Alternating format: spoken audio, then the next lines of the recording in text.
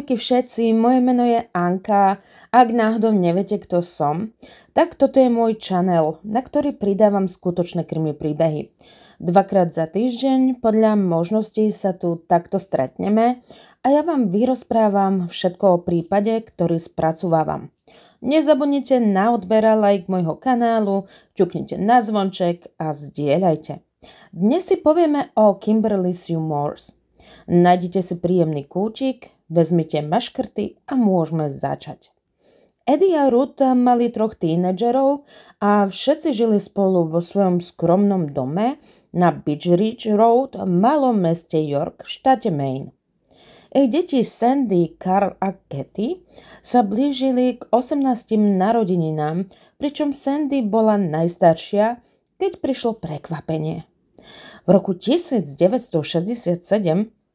ich matka Ruth neplánovane otehotnela a neskôr porodila zdravé dievčatko, ktorému dali meno Kimberly Sue Morse.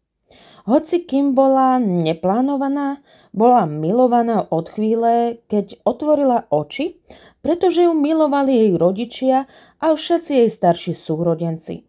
Beach Ridge Road bola baštou rodiny a bratranci tety a strýkovia boli vzdialení len kúsok peši alebo na bicykli. Kim bola krásne dieťa.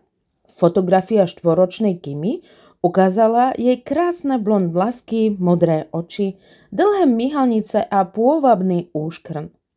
Ľudia z nej boli hneď na prvý pohľad unesení. Jednou z jej najobľúbenejších hračiek v detstve bol skákací hojdací koník, ktorého milovala. Bola plná energie a celé hodiny skákala na hračke a zabávala sa nielen ona, ale aj ostatných. Od malička bola ockovým malým dievčatkom. No to mi niekoho pripomína. Neskôr sa stal jej šoférom a vozil ju so svojimi priateľmi kamkoľvek chcela. Bol naozaj dôsledný. Dokonca si viedol knihu so všetkými menami jej priateľov a ich kontaktnými informáciami, aby mal prehľad o tom, kde bola a s kým trávila čas. Kým milovala zabávať a šokovať ľudí tým najzábavnejším, ale i najhlúpejším spôsobom.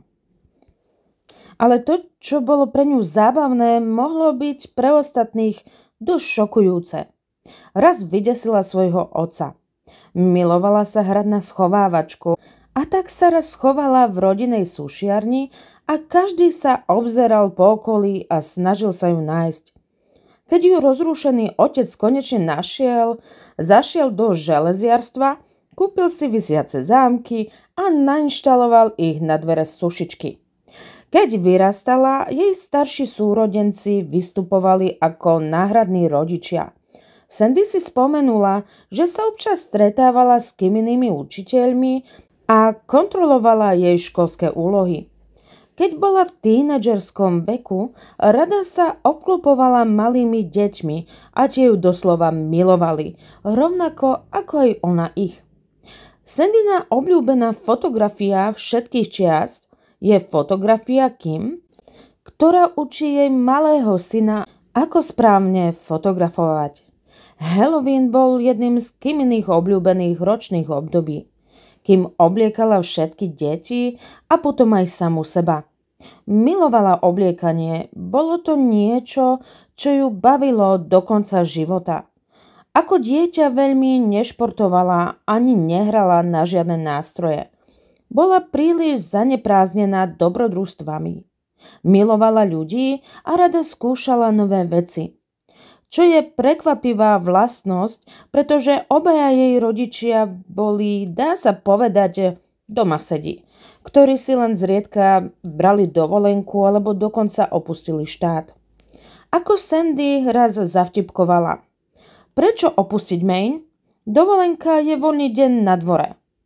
V roku 1985 Kim promovala na strednej škole v Yorku. Jej citát z ročenky znel – Musíš využiť každý deň čo najlepšie, pretože všetko môže byť pred skôr, ako sa nazdáš. Kim zostala v Yorku ďalších 10 rokov. Keď bola staršia, sa dostala do kondície a zlepšilo sa jej aj zdravie. Strávila veľa rokov po silovni a zostala pri aerobiku spolu s Jane Fondovou.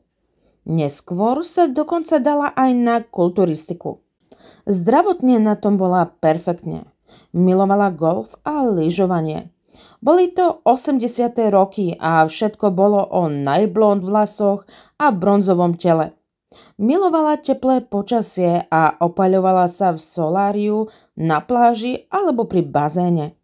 Kým často a rada cestovala, podnikala krátke víkendové výlety, no niekedy aj dlhšie, napríklad na Floridu alebo na americké panenské ostrovy, kde dlhší čas zostávala. Vtedy sa zamestnala ako brigádnička na častočný úvezok. Mala dva práce – v jednej bola čašničkou a v druhej maliarkou. Popri tom všetkom naštívila i Havaj. Milovala teplé počasie a vždy ho vyhľadávala. Raz sa kým zúčastnila súťaže v bikinách a keď vyhrala nejaké peniaze, veľmi ju to potešilo. Veď koho by aj nie. Sandy si spomenula na čas, keď bola na Floride.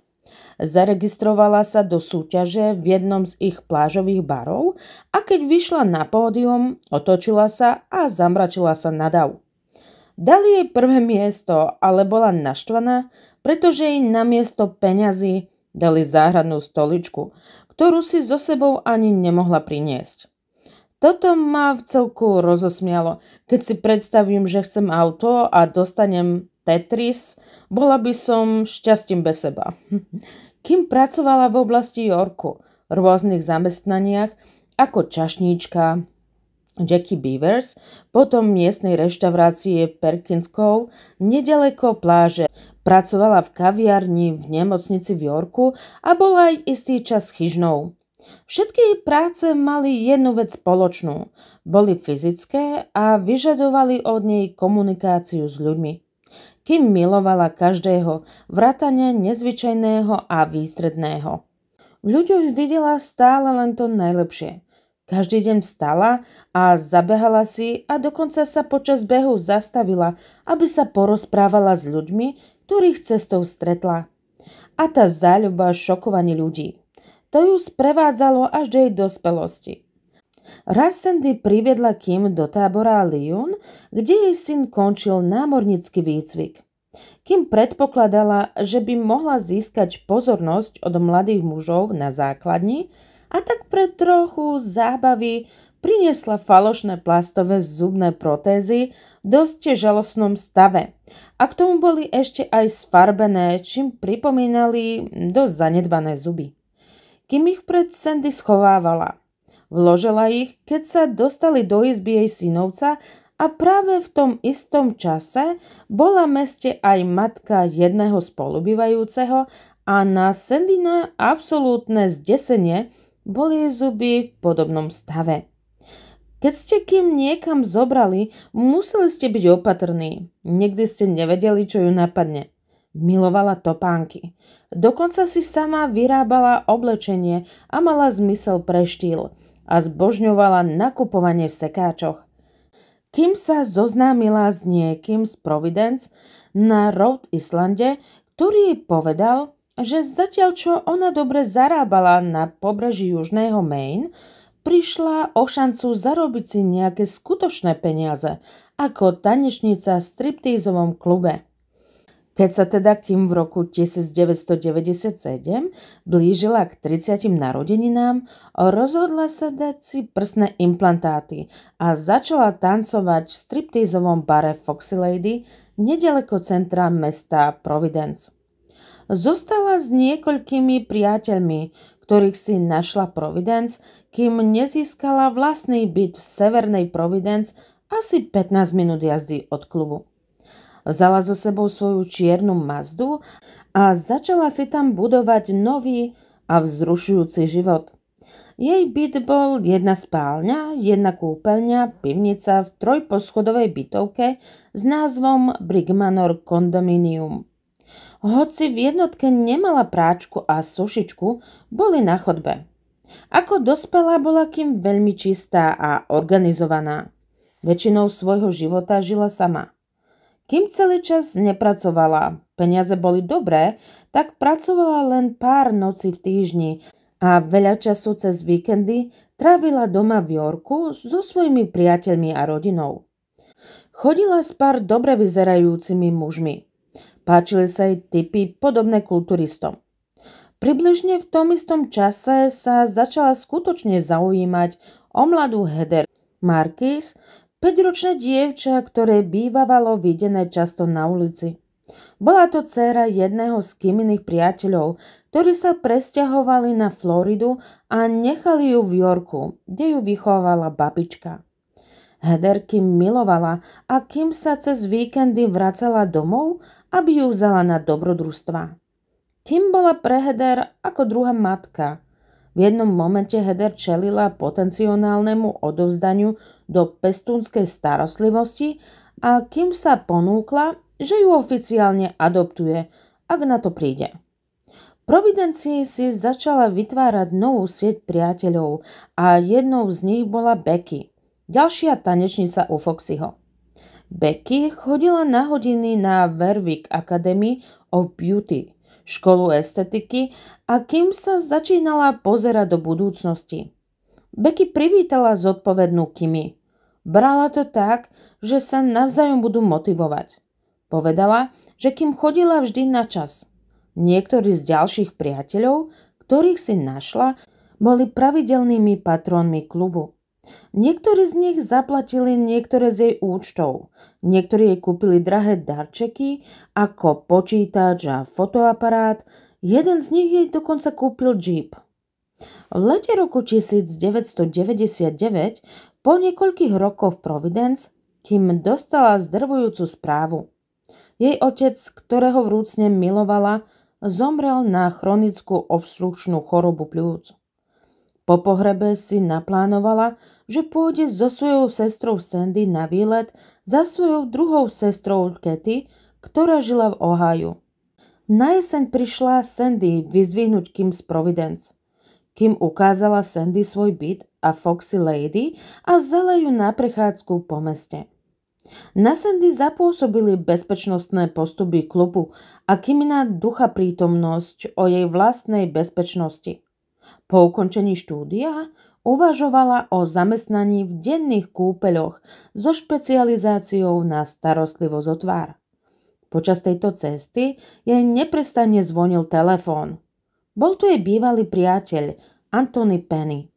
Rozišli sa, ale on to nevedel prehríznuť a tak viedli neustále rozhovory plné výčitiek. Teda z jeho strany. Na Vianoce sa kým vrátila domov a strávila dva alebo tri týždne so svojou rodinou v Yorku, kým sa naposledy vrátila do Providence. Bol útorok, 18. januára roku 2000 a ona telefonovala so svojou sestrou a oznámila jej, že v piatok bude doma na spoločnej narodeninovej oslave Sandy. Išla do práce, na smenu v klube a vystúpila okolo 1 hodiny 45. minúte. Odhlásila sa z Providence a vyhadzovač ju odprevadil k autu, počom sa odviezla domov. Zaparkovala na asfaltovom parkovisku a šla do bytovky z červených tehál. Otvorila vchodové dvere a potom zišla po niekoľkých schodoch na nižšie poschodie. Jej lodičky klopítali, keď prechádzala cez práčovňu. Potom prišla na jednotku 28 a otvorila dvere svojho bytu. Len čo vošla do kuchyne, niekto ju napadol. Dotyčný na ňu zautočil a podrezal jej hrdlo. Nemala ani možnosť bojovať či kričať. Bolo to tak rýchle a tak, kým vykrvácala na podlahe svojej kuchyne. Jej kamarátka Becky jej v ten deň volala 10 krát. Hneď ráno okolo 8 hodine. Nechápala, prečo jej kým neberie telefón a tak sa začala znepokojovať. Ešte sa nikdy nestalo, aby kým meškala na hodinu a navyše Becky ju potrebovala, aby jej niečo vyzdvihla cestou do školy. Až v stredu o 5 hodine a 30 minúte po obede sa svet dozvedel, čo sa kým stalo. Okolo 5. hodine po obede sa v byte spustil požiarný alarm. Potom bolo cítiť a vidieť dym, ktorý presakoval spod jej dverí. Sused vytočil číslo 911 a hasiči okamžite zareagovali. Keď dorazili, jej jednotka bola naplnená dymom. Keď sa dostali do kúpeľne, objavili tam plamene šľahajúce z váne. Kimino nahé telo niekto položil tvárou nahor do vane, zahalil utierákmi, ktoré zakryli jej trup a nohy, polial benzínom a následne zapálil. Požiar uhasili skôr, ako sa mohol rozšíriť na ďalšie byty a tak žiadne iné jednotky neboli poškodené. Keď sa dym rozplynul, objavilo sa pred nimi miesto činu a tak okamžite kontaktovali políciu. Polícia North Providence okamžite zareagovala a začala analyzovať miesto činu. Kapitán Paul Marino vošiel do bytu v suteréne a okamžite si všimol kaluš krvi na podláhe kuchyne. Môžem si len predstaviť zdesenie hasičov, keď sa dozvedeli, cez čo sa plazili, aby sa dostali do kúpeľne. Uf, až ma striaslo. Objavili Kimine kľúče a jej rukavice na kuchynskej linke a teoretizovali, že pred napadnutím mala dosť času na to, aby si zložila rukavice a položila kľúče. Zistili, že má na zimnom kabáte rezné rany, čo naznačuje, že si ho po vstupe ani nestihla vyzliesť. Po páde na zem ju ešte niekoľkokrát bodli na dláške v kuchyni. Neexistovali žiadne známky násilného vstupu, takže verili, že vrah mal kľúč, čo naznačuje, že ho mohla poznať. Verili, že vrah udrel uprostred noci, ale nikdy nevysvetlili 15-hodinový časový odstup medzi druhou hodinou rána a 17 hodinou nasledujúceho dňa. Čo sa dialo v tej jednotke počas tých 15 hodín? Zostal z ňou vrah? alebo odišiel z areálu a potom sa vrátil neskôr? Neviem. Oprašili otlačky prstov, odobrali vzorky krvi, zistili, že v jej jednotke chýbajú veci. Trezor s hotovosťou, jej počítač, šperky, fotoaparát, videokamera a vypchatý biely medvedík. Pre svoje záznamy zaznamenali viac ako 100 dôkazov, ale žiadny z nich nebol vražednou zbraňou. Zistili, že miesto je starostlivo organizované a upratané. Niektoré šaty boli rozložené, ako keby sa chystala na výlet. Piatok plánovala ísť domov do Yorku, ale v útorok sa im zdalo trošku skoro na balenie. Vypočuli ostatných obyvateľov aj z okolia, ale jediné, čo sa podľa ich správ dozvedeli, bolo, že sused tú noc počul akýsi buchot, ale žiadny krík. Na chvíľu stlmil televízor, počúval a potom počul niečo, čo znelo ako kroky. Porúčik Thomas Jones povedal, bolo to osobné. Jej telo odvlekli do kúpeľne a umiestnili do vane. Vyzlekli z nej šaty a potom ju zapálili. Yorkské policajné oddelenie prevzalo zodpovednosť za upovedomenie rodiny. Sandy si spomenula, že bola so svojou matkou, keď uprostred noci zaklopali na dvere a oznámili im smutnú správu. Kancelária súdneho lekára neskôr vykonala pitvu a aj oni kontaktovali rodinu a požiadali niekoho, kto by prišiel do Providence identifikovať Kimine telo. Asi o týždeň neskôr, pondelok 24. januára, v roku 2000 boli večerné návštevné hodiny v Lucas and Eaton Funeral Home v Yorku a nasledujúci deň, útorok, mali bohoslužbu v kostole York Street Baptist. Potom sa z kostola presunuli na cintorín Pleasant Cemetery v Eliote v štáte Maine a pochovali ju. Polícia North Providence prišla z Rhode Island, aby sa zúčastnila pohrebných obradov. Chceli vidieť denník návštevu. Vo vedľajšej miestnosti vypočúvali jej známych s prozbou o pomoc prípadom. Dokonca prešli Kiminou detskou izbou v dome jej rodičov. Správy v médiách sa začali zaoberať prípadom a šéf policajného oddelenia North Providence povedal, že všetci jeho detektívy boli pridelení k prípadu. Kým poznala veľa ľudí a tak mali práce nad hlavu. Na Kiminu rodinu v prvých mesiacoch veľmi zapôsobilo úsilie polície. Mesiac alebo dva po pohrebe prišiel jeden z Kiminých bývalých partnerov menom Tom Shanahan a spýtal sa, či by mu Sandy mohla ukázať Kimin hrob. Tá súhlasila a keď si Tom prečítal náhrobok, zvolal. Klamala ma. Bola staršia odo mňa. Jej, da. Dobre, že sa kvôli tomu nezrútil. Kimina osobnosť žila aj po smrti. Chýbal jej len mesiac do ukončenia štúdia a ona a Becky boli jedni z najstarších tanečníčiek u Foxyho a mali pláne posunúť sa ďalej. Kým sa pripravovala na cestu na Floridu, aby tam strávila čas so svojou blízkou priateľkou Julie Pratovou, ktorá jej tam pomáhala zabezpečiť si prácu. Sandy sa zamyslela aj nad smrťou svojho otca v predchádzajúcom roku. Cítila úľavu, že jej otec zomrel skôr ako Kim. Zničilo by ho, keby videl svoju dceru brutálne zavraždenú. Bol jej ochrancom. Ako ubiehali dni bez odpovedí, policajti sa obrátili o pomoc na FBI. Poskytli podrobnosti o vražde kriminálnym profilovačom nádeji, že nový pohľad pomôže učiť priority a zamerať sa viac na prípad. Oslovili jasnovica menom Kit, ktorý poskytol podrobnú analýzu miesta činu a dal im nejaké nové stopy na preskúmanie ale keďže v Kiminom živote bolo toľko ľudí, najlepšie, čo mohla policia urobiť, bolo zúžiť ich na približne 15 potenciálnych podozrivých. V máji, 4 mesiace po vražde, Kitty a Sandy cestovali na North Providence, aby oznámili odmenu. Tá bola vo výške 20 tisíc dolárov za informácie smerujúce k nájdeniu vraha. Peniaze vyzbierali priatelia Kimnej rodiny a nadácia Carlsen Carrington Foundation. Tie peniaze si nikto nikdy nenárokoval. Kimin vrah dodnes zostáva na slobode. Okrem typu v roku 2014, ktorý viedol vyšetrovateľov do Michiganu, v prípade nedošlo takmer k žiadnemu novému verejnému vývoju.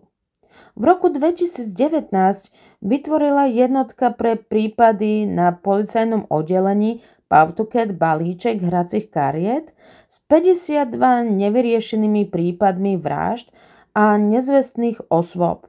Kimin prípad bol uvedený na 7. karte. V rozhovore, ktorý sa uskutočnil v čase, keď boli karty zverejnené, poručík Thomas Jones povedal, že majú DNA osoby, o ktorej si myslia, že zabila Kim, ale zatiaľ sa nenašla žiadna zhoda. Dodal, je len otázkou času, kedy zaklopeme. Takže keď si myslíš, že ti to prešlo, si na umile. Hoci v prípade nebol menovaný žiaden oficiálny podozrivý, nezabránilo to rodine a priateľom v rozvíjaní ich vlastných teórií. Sandy si spomenula, že kým kúpila zámok na dvere svojej spálne a že chcela vymeniť zámok na svojom byte. Keď sa spýtala prečo, kým jej povedala, že sa bojí svojho bývalého priateľa Antonyho Pennyho. Kým jej tiež povedala, že Antony sa pokúšal vylomiť dvere, kým s ňou býval jej nový priateľ. Je to ten istý muž, ktorý volal a zložil, keď bola Kim na výlete zo Sandy a Kim povedala Sandy, že počas ich burlivého rozchodu Anthony Kim hrozivo povedal Ženy sa so mnou nerozídu, to ja sa s nimi rozchádzam. Sandy si myslí, že Anthony tiež kulturista by mal silu premôcť Kim, ktorá by sa nedala len tak bez boja ale útok bol rýchly a nečakaný. Načasovanie ich rozchodu na konci roku 1999 sa tiež zhoduje s časovou osou jej vraždy. Iní priatelia kým podozrievali muža, ktorý žil v rovnakom bytovom komplexe staršieho chlapa, ktorý ju zrejme sledoval, dokonca sa objavil na parkovisku pri jej práci. Spočiatku k nemu bola milá, no potom začala byť čoraz viac opatrnejšia. Možno dokonca pracoval pre prenajímateľa a umožnil mu prístup do jej bytu. Becky si spomínala na pár, ktorý žil s kým v roku 1999 asi mesiac. Hoci bol párik vo vzťahu, muž sa aj napriek tomu dokým zalúbil. Pomyslela si, že keď mali kľúče od Kiminho bytu, možno sa mohol vrátiť. Becky si tiež spomenula, že len deň alebo dva pred vraždou dostala hlasovú správu od Kim, ktorú Kim Becky zanechala a bola z istého incidentu celá vystrašená. Mala pocit, že sa ju niekto snažila v tom zráziť. Hoci sa jej nakoniec nič nestalo, bola to zvláštna zhoda okolností. Posledná teória, ktorú som počula, boli nejaké špekulácie o tých pravidelných patrónoch klubu, ktorí ju zasypávali drahými darčekmi. Mohli chcieť viac, alebo chceli kým len pre seba, možno kým odmietla.